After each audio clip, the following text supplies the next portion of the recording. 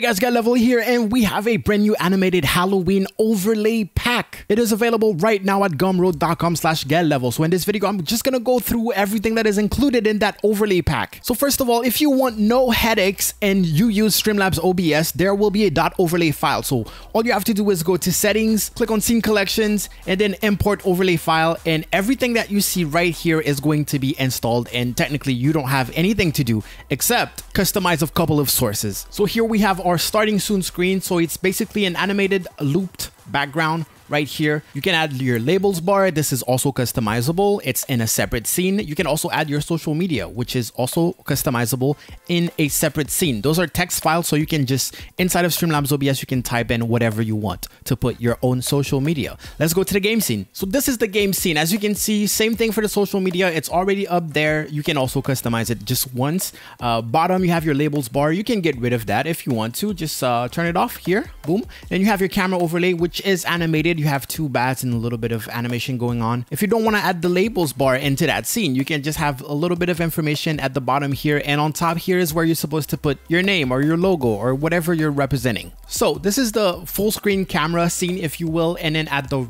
right side, you should have the chat. So your chat is going to appear here. Right there, I have put a display capture, but technically you could put your game capture if you want. It is also animated. There's a little bit of animation going around, but it's not too much, so it's not too distracting. Let's get to the Be Right Back screen. So Be Right Back screen is going to be similar to the starting soon screen. Same thing for the stream ending scene stream ending scene right there. The animations are seamless. I know this video is going to be cut up, so it's going to look like it's janky, but it's it, everything is seamless. So we have a whole separate scene for the labels bar right here. As you can see, everything is uh, customizable. Inside the overlay pack, I'm going to show you, but we have even more options when it comes to labels I understand that some people are not affiliated so that they so they can't get bits or, or subscribers. I also understand that some people use my packs for other platforms such as Mixer. So I got you covered. And this is the little social media thing. Cool thing is that those are text. So if you want to change, for example, your Twitter, I'm going to put my own Twitter.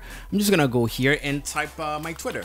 And then of course I can resize it to make it fit. Same thing for the rest. This pack also comes with a transition this is one of my most complex transitions to date. The whole transition is 3 seconds and if that's a little too slow for you, I included a second transition that is only 2 seconds.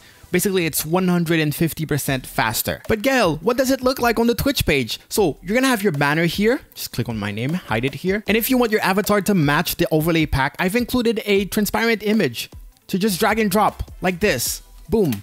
You can even do that in Microsoft Paint. So it'll go from this to that. And boom, that's the offline image. All right, let's replace those panels. And boom, this is what the panels look like. There are 20 panels in this pack plus one that is completely blank in case you want to customize your own. So here's that channel look, banner, avatar, offline image, panels. What more do you have? If you want a background image for your offline image, for example, if you want to put whatever, that is included in the pack. You also have a complete clean background right there. We saw the banner. That is one label bar that you can customize. So inside of Streamlabs OBS, you can put follower, cheer, or whatever the labels that you want. This is the one that you saw me use in Streamlabs OBS. That is a stacked model without the titles. That is the same one, but with some icons. This is mostly for Twitch affiliates. That's another one if you want to keep it purple or if you want to be able to change the color with a filter. Of course, the offline image. This is the social media template. There's also an image for the camera overlay in case you don't want it to be animated. Of course, all the panels,